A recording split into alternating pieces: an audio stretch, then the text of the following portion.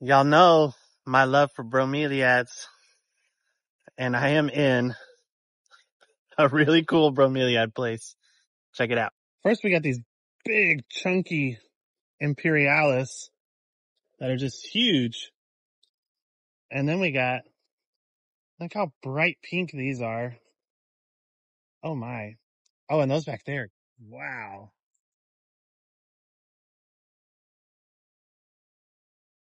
So many cool bromeliad varieties over here.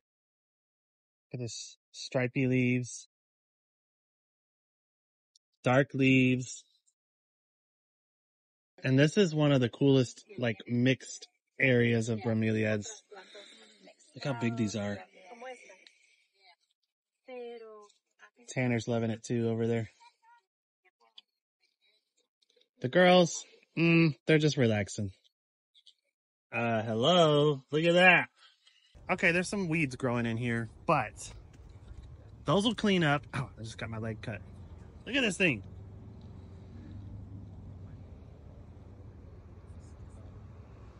This is so cool. It's bromeliads as far as I can see. Okay, I love this plant, and they had some uh, bonsais of it because it makes a wonderful bonsai. This is Portulacaria afra, which is a dwarf bonsai, or dwarf jade. Oh, it just started raining. What the heck? Where did this come from? Okay, that rain lasted for like 10 seconds, and now it's done. Um, back to bromeliads. I was going to tell you about the different Portulacaria afras that they have, but I'm back on bromeliads again. I've been around a lot of plants. Look at this. Look at those blooms. Those are like fire hot. Okay, back to the porch of the Portulacarias. So we got this one that has kind of a brown stem, small golden leaves. We've got the variegated leaf, reddish brown stem. We've got the semi-variegated, red stem, golden leaf. They've got so many varieties of dwarf jade. They even have trailing varieties over here.